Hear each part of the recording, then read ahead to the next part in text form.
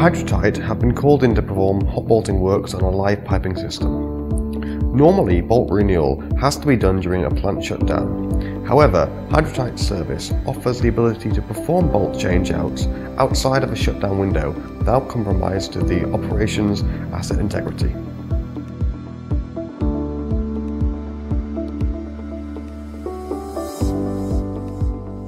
Today we're going to be working on a 1 inch class 150 flange.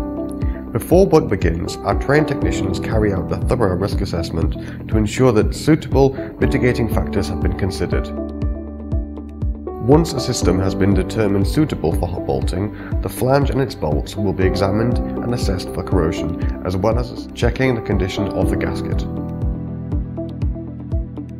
Before work commences, we conduct an equipment check and one last safety check for hazards in the area.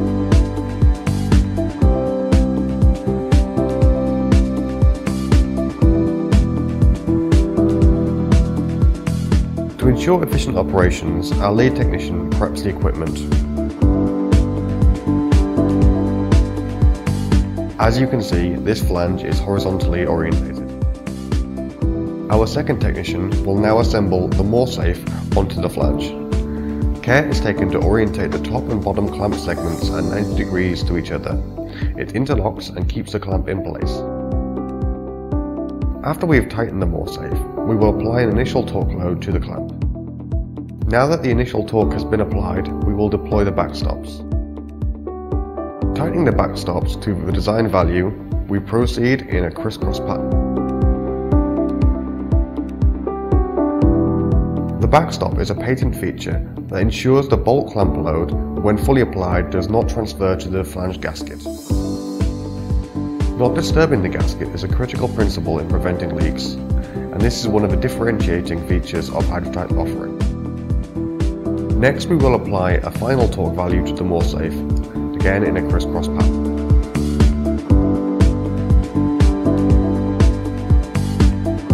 The clamp is secured, before we commence to remove the bolts, I'd like to demonstrate some advantages of this design. Designed as per ASME 8 Division 2 guidelines. The open design allows for a variety of methods to remove the bolts, such as a nut splitter or hand torque tools to be used easily. Additionally, the MorSafe bolt renewal clamp can be left on the flange temporarily and hence can be used to reinforce the flange in case bolt renewal is not possible. In the past, hot bolting is performed using the G-clamp principle, as illustrated. This features unstable design, constricts movement, hinders the use of nut splitters, increases load onto gaskets increasing the chances of a leak, unable to be utilised in tight spaces thus limiting its scope. And critically, it's not safe. Cutting back to our project, the MorSafe has now been secured, the flange is stable, Starting with the bolt furthest away from the operator, each bolt is removed in a cross pattern manner. No leak, this is a testament to the stability of the design. After each bolt is removed, they are replaced and torqued to 80% of the specified value. In this case, we have made an equal stud protrusion as per the customer's request. This process is then repeated for all bolts. Now the flange bolts will be tightened to its final torque value. Having removed the old nuts and bolts, it's clear that Hydratight were here on time. Now to disassemble. Starting with the MorSafe bolt furthest away from the operator, he works his way around in a crisscross manner. And there you go, a safe and efficient change out of bolts.